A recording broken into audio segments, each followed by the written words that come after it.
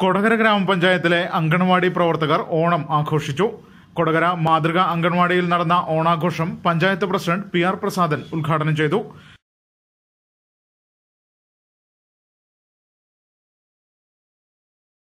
മലയാളികളെല്ലാം മറന്ന് ആഘോഷിക്കുന്ന ഒരേ ഒരു ഉത്സവം എന്ന് പറയുന്നത് ഓണാണ്. ഓണത്തിന്റെ കഥയൊക്കെ നോക്കിയാൽ നല്ല രസമുണ്ട് അല്ലേ നല്ല മനുഷ്യനെ ഭൂമിയിലേക്ക് ചവിട്ടി നടക്കുക അതാണ് എന്റെ കഥ. ശരിക്കും വായിച്ച. മഹാബലി നല്ല മനുഷ്യനാണ്. നമ്മളൊക്കെ പറയുന്നത് കള്ളല്ല ചതിയില്ല. ഏഹ്? അങ്ങനെയുള്ളൊരു കാല. അപ്പൊ അങ്ങനെയുള്ള കാലത്ത് അങ്ങനെയൊക്കെ ചെയ്ത ആൾ ഈ ഭൂമിയിൽ വേണ്ടെന്നാണ് ആര് പറയുന്നത്? നമ്മൾ ദൈവം എന്ന് പറയുന്ന ആളുകൾ ചെയ്യും ആണല്ലോ? അതെ.